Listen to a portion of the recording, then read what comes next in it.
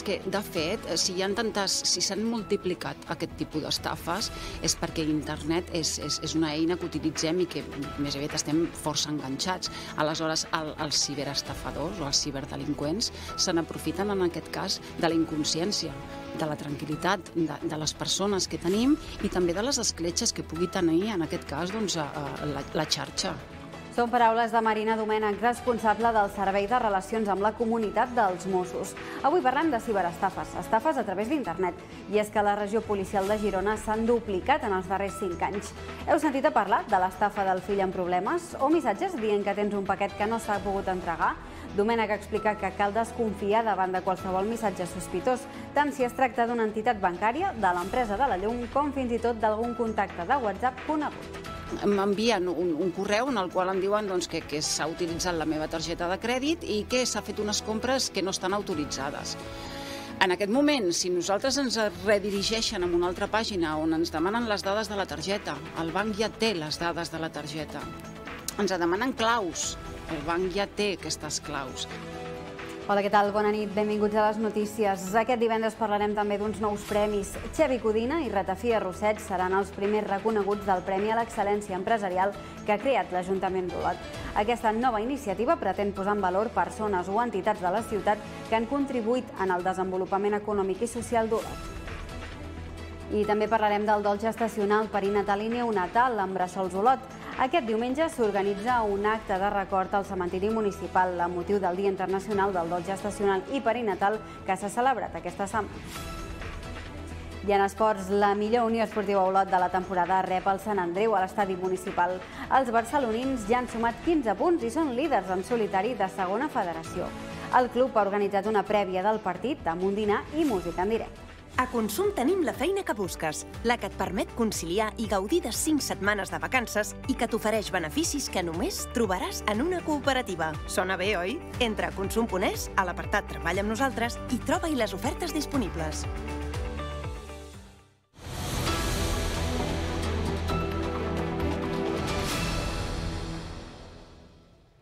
Desconfiar davant de qualsevol missatge sospitós és una de les principals consignes que donen els Mossos per evitar les ciberestafes.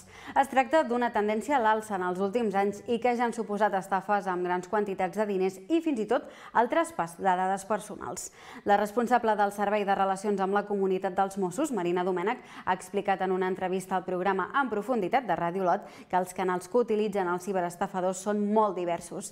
Remarca que abans de cedir dades es comprovi qui les demana i desconfiar de qualsevol contacte, sigui conegut o no. Les estafes a través d'internet a la regió policial de Girona s'han duplicat els darrers 5 anys. En concret, i segons el registre de Mossos d'Esquadra, s'ha passat de 4.248 delictes d'aquest tipus el 2018 a 8.479 l'any passat. Un increment que representa una mitjana de 23 ciberestafes al dia i que el cos policial atribueix a l'augment de l'ús d'internet. Un dels últims casos va ser el d'11 detinguts a les comarques gironines per ciberestafes a través d'ofertes de feina falsa falses o del fill amb problemes. En aquest cas, la Policia Nacional va xifrar en 62.000 euros els diners estafats pels arrestats. És una tendència a l'alça, degut, entre altres factors, a l'ús de la tecnologia per la gran part de la societat.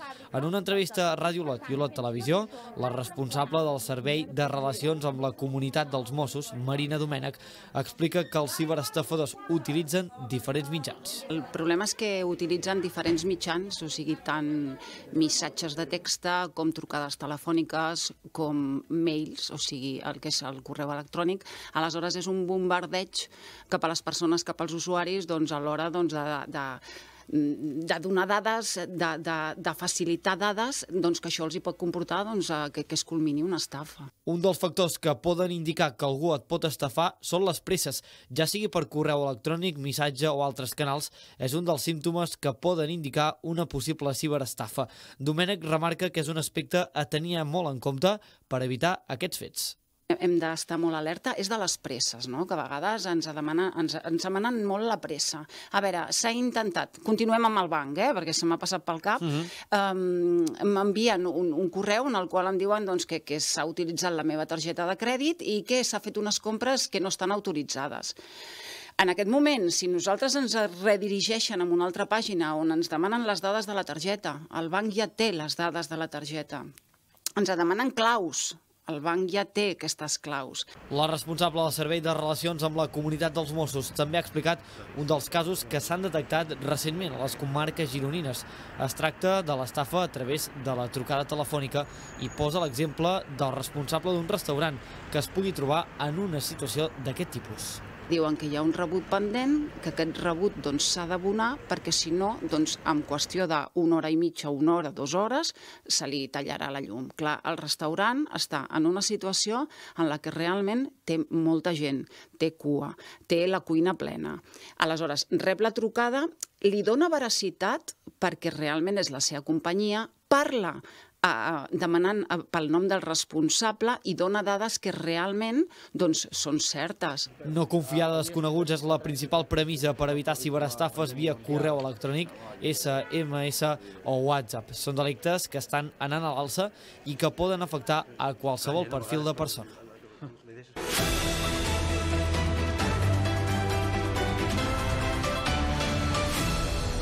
Xevi Codina i Ratafia Rosset seran els primers reconeguts del Premi a l'Excel·lència Empresarial que ha creat l'Ajuntament d'Olot. Aquesta nova iniciativa pretén posar en valor persones o entitats de la ciutat que han contribuït en el desenvolupament econòmic i social d'Olot. Els premis es diuen Ricard Simón, de l'empresa Simón, persona clau també en el naixement de Ràdio Olot i d'Olot Televisió.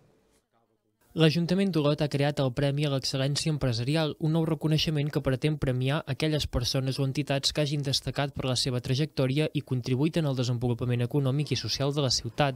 Els nous premis porten per nom Ricard Simón, en honor a l'empresari olotí que va convertir un negoci familiar en una multinacional dedicada a la fabricació de material elèctric i il·luminació, a més de ser fundador de Ràdio Olot, impulsor d'Olot Televisió, directiu durant un temps de la Unió Esportiva Olot i persona clau en la construcció de la llar d'infants del Morrot. Enguany el guardó d'aquest nou premi serà per Xevi Codina, de Ratafia Rosset, que des de ben jove va fer-se càrrec del negoci familiar, fent-lo créixer i convertint-lo en una empresa coneguda aquí i a fora. I aquest any eh, doncs, li donarem eh, aquest premi és en, en Xevi Codina, en Xavier Codina, de Ratafia Rosset, eh, una persona que, que bueno, sabeu, eh, elabora la, la, la famosa beguda eh, que tots bevem o que hem, que hem provat, que porten més de eh, 120 anys d'història i que s'ha convertit eh, realment en un dels eh, elements més icònics de la nostra ciutat. L'acte d'entrega del premi es durà a terme el dimecres 6 de novembre a les 7 de la tarda a la sala El Turín. A l'acte hi serà present Josep Roca, del celler de Can Roca. El trofeu que rebrà Xavi Codina és obra de l'arquitecte i escultora lutina Cristina Montero. I l'Ajuntament d'Olot opta per repetir la mateixa fórmula de l'any passat a la plaça del Mig. En els pròxims dies s'instal·laran franges antilliscants i la idea és anar deixant més zones de la plaça amb aquests elements permanents. Des de l'Ajuntament mantenen el compromís d'aplicar una solució definitiva a la plaça quan es trobi. En els pròxims dies, l'Ajuntament d'Olot tornarà a implementar els elements antilliscants a la plaça del Mig. Segons el regidor de Serveis Urbans, Aniol Cellabona, les franges antilliscants permanents estan funcionant i l'objectiu és anar-les ampliant a la plaça. Bé, doncs seguim amb les actuacions que ja vam iniciar l'any passat, que és implementar ja un muntatge permanent que ens ha donat bons resultats i és anar-lo ampliant mica en mica. El que farem ara és tota la vessant que queda des de la part on hi ha la rampa fins al túnel, de la plaça del mig, allà al costat doncs, de, de Can Callís, que hi farem aquest muntatge definitiu amb aquestes bandes antilliscants per assegurar tot aquest tram en els mesos de més fred i el muntatge efímer, aquest muntatge d'hivern només es farà a la part plana amb la voluntat de que si va donant aquest bon rendiment que va donar aquest primer any puguem ja deixar un element eh, tot l'any Cellabona diu que l'any passat no hi va haver incidències a la plaça del mig i que per això aquest any opten per repetir la mateixa fórmula. També, igual que l'any passat, Cellabona diu que mantenen el compromís d'aplicar una solució definitiva per la plaça sempre que sigui viable i sàpiguen del cert que funcionarà. Estarem sempre atents no? també en guany de, de com funciona i si es va confirmant el que ja es va començar a confirmar l'any passat, doncs seguiríem en aquesta direcció amb la voluntat i el compromís que ja vam manifestar des d'un principi que si alguna vegada, algun dia, trobàvem una solució definitiva, no dubtarien a, en aplicar-la i d'aquesta manera doncs, ja no hi hauria ni muntatges ni desmuntatges a la plaça.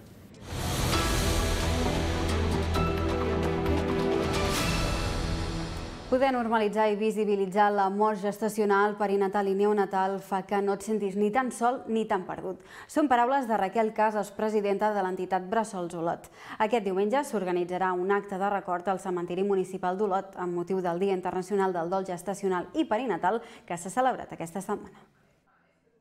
La mort gestacional, perinatal i neonatal passa més del que ens pensem. De la mort se'n parla poc, però encara menys del dol perinatal.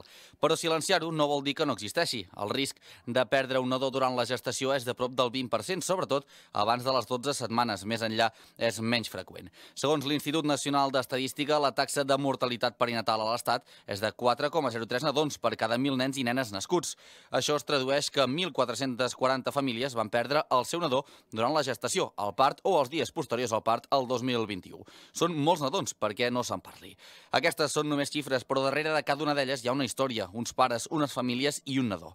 Com a societat, donar visibilitat a la mort gestacional, perinatal i neonatal és l'única manera d'enfrontar el tabú social que hi ha sobre la mort en bebès.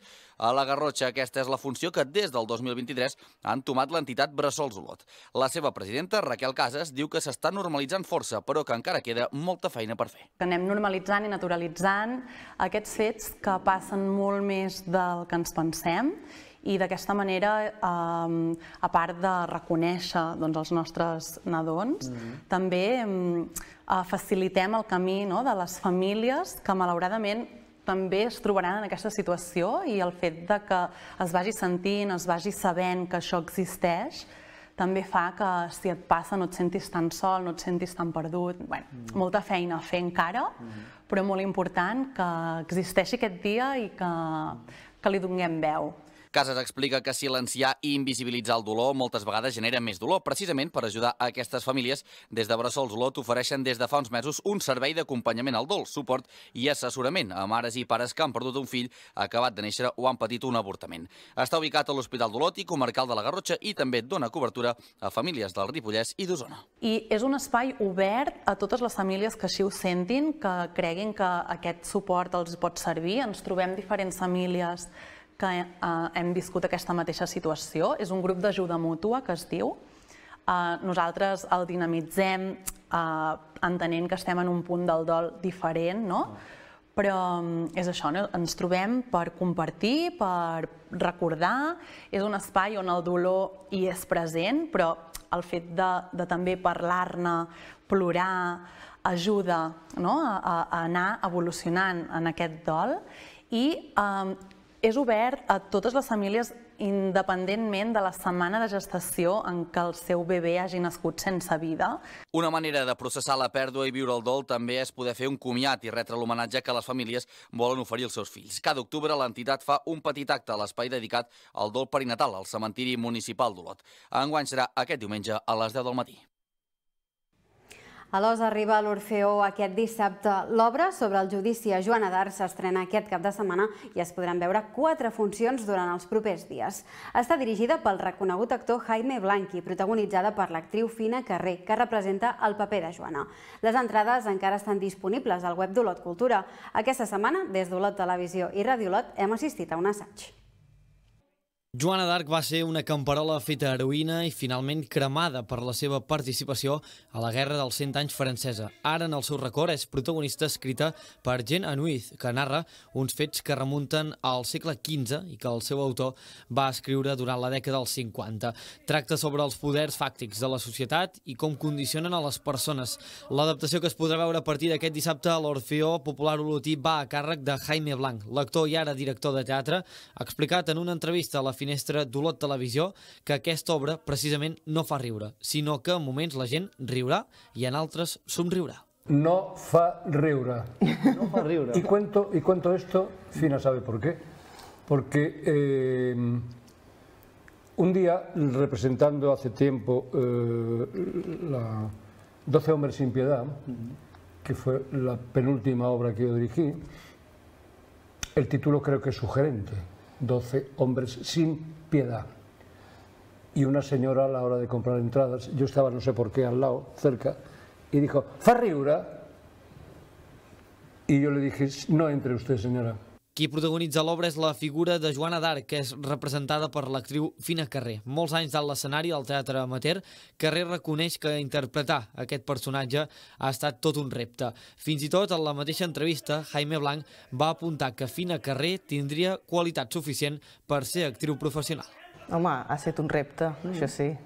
Gràcies també a en Jaime de, de donar-me'l i de, i de l'ajuda que m'ha donat a, a poder-lo interpretar però evidentment té una evolució el personatge dintre de l'obra que també és molt maca de veure, de com comença sent la típica innocent, com es, es transforma eh, i el poderament que té abans de que la cremin.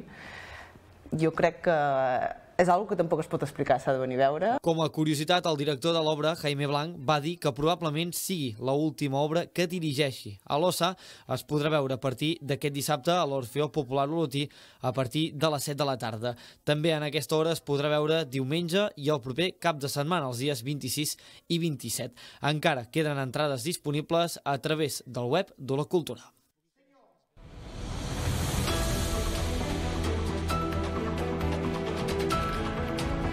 I ara és el moment de fer una pausa. A la tornada parlarem de l'OPFest i és que quatre candidats garrotxins opten a representar la Garrotxa al concurs musical de la xarxa. A partir d'aquest dilluns podreu conèixer tots els candidats amb més profunditat. Durant el programa hi haurà entrevistes i una actuació en directe. En parlem després de la pausa. Fins ara.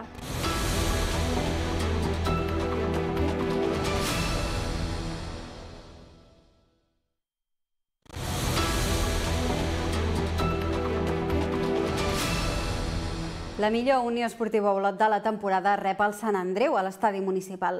Els barcelonins ja han sumat 15 punts i són líders en solitari de segona federació. El club ha organitzat una prèvia del partit amb un dinar i música en directe. La Unió Esportiva Olot ha reaccionat. Després de sumar 10 dels últims 12 punts possibles, els jugadors de Pedro Dolera busquen la quarta victòria en 5 partits davant el líder.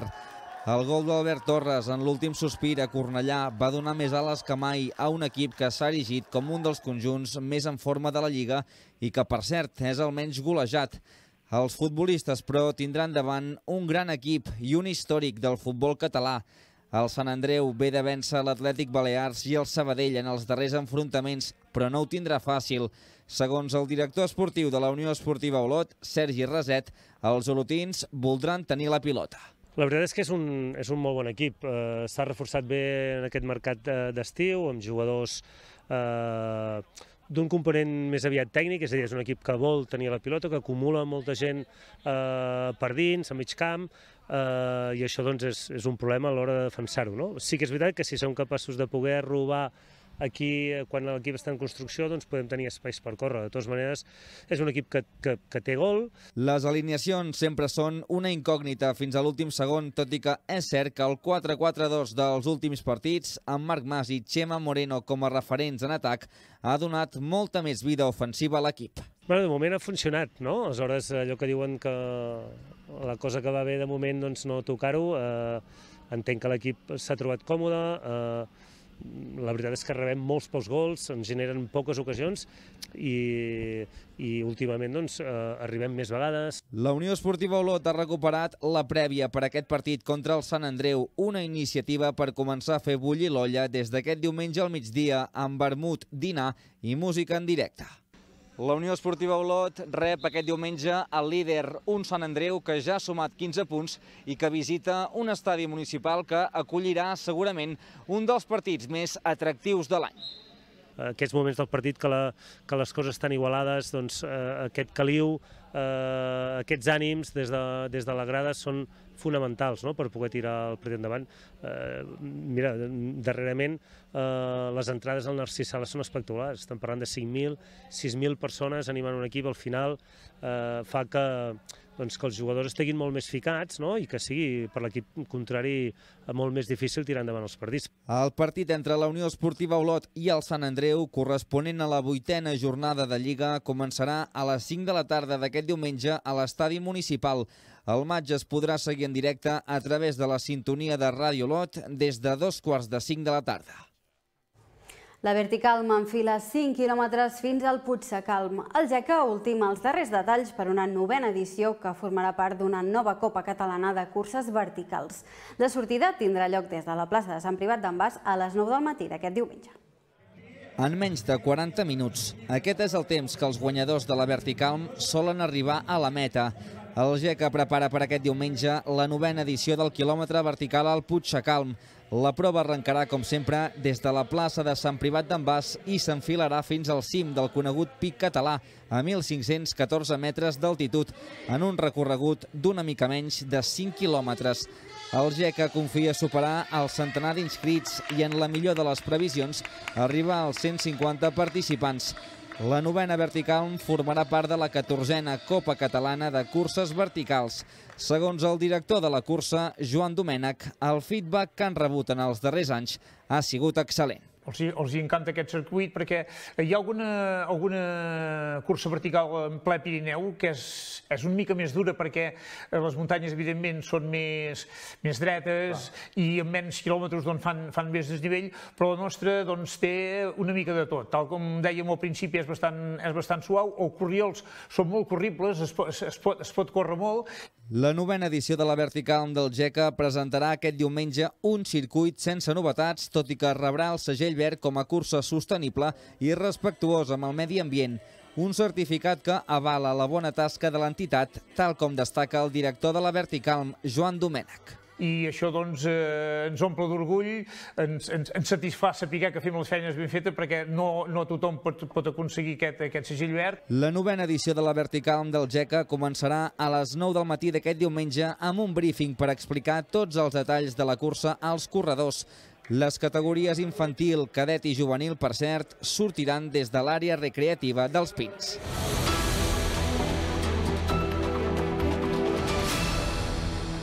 Quatre candidats garrotxins opten a representar la Garrotxa a l'OPFest. A partir d'aquest dilluns podeu conèixer a través d'Olot Televisió a tots els candidats amb més profunditat. Durant el programa hi haurà una entrevista i una actuació en directe. L'OP-Fest és un concurs de cançons originals en català entre els diferents territoris de Catalunya. Cada comarca hi ha d'estar representada amb un candidat, sigui un solista o bé un grup musical de fins a 5 membres amb una composició pròpia i original. A la Garrotxa hi ha quatre candidats. Es tracta de tres solistes, Eric Latorre, Alba Cels i Marc Andorell, i també un grup, el Santa Mandra. Per saber qui serà l'encarregat de representar la comarca, a les finals hi haurà tres jurats. El director de Ràdio Lot i Lot Televisió, Joel Tallant, explica qui seran tindrem un jurat professional eh, que estarà format per la Núria López, la nostra Núria, eh, de, de, de Can Xel i d'Eufòria, per entendre'ns. Eh, vull agrair a tothom que ho ha acceptat a la primera i, sí, sí. i superbé. Uh, també tindrem en Gerard López, uh, membre de teràpia de xoc, i en Jordi Serrat, programador musical d'Olot i director de les festes d'altura. Aquest serà el, el jurat pro, per entendre'ns. Llavors hi haurà un altre jurat que seran els professionals de Radio Lot i d'Olot Televisió, que eh, a través també d'una votació hi direm la nostra.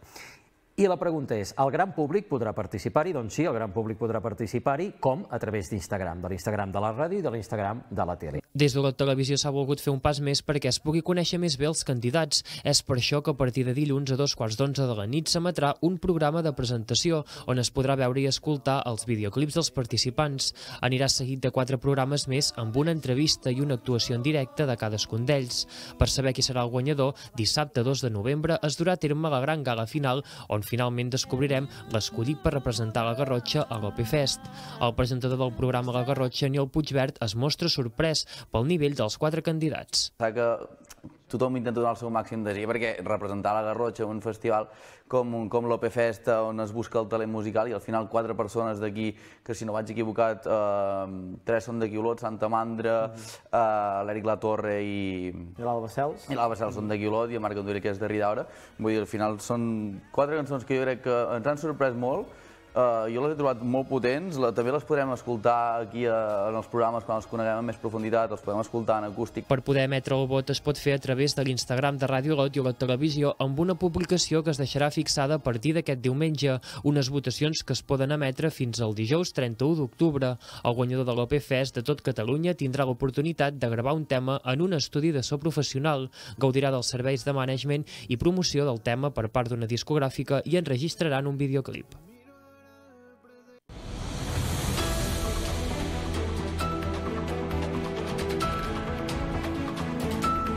Doncs fins aquí l'informatiu d'aquest divendres, un informatiu on us hem explicat que les estafes per internet es dupliquen a les comarques gironines els últims 5 anys. La responsable del Servei de Relacions amb la Comunitat dels Mossos, Marina Domènech, ha explicat que cal desconfiar davant de qualsevol missatge sospitós. I també us hem explicat que Xavi Codina i Ratafia Rosset seran els primers reconeguts del Premi a l'Excel·lència Empresarial que ha creat l'Ajuntament d'Olat. Aquesta nova iniciativa pretén posar en valor persones o entitats de la ciutat que han contribuït en el desenvolupament econòmic i social d'Olat. I també hem parlat del dol gestacional perinatal i neonatal amb l'entitat Bressols. Aquest diumenge s'organitzarà un acte de record al cementiri municipal d'Olot amb motiu del Dia Internacional que s'ha celebrat aquesta setmana. I en esports, la millor Unió Esportiva Olot de la temporada rep el Sant Andreu a l'estadi municipal. Els barcelonins ja han sumat 15 punts i són líders en solitari de segona federació. Doncs fins aquí l'informatiu d'aquest divendres. Tot seguit, després de la previsió del temps, us deixem amb l'Aldia Comarques de Girona en la seva edició vespre. Nosaltres tornem dilluns. Que vagi bé, bon cap de setmana.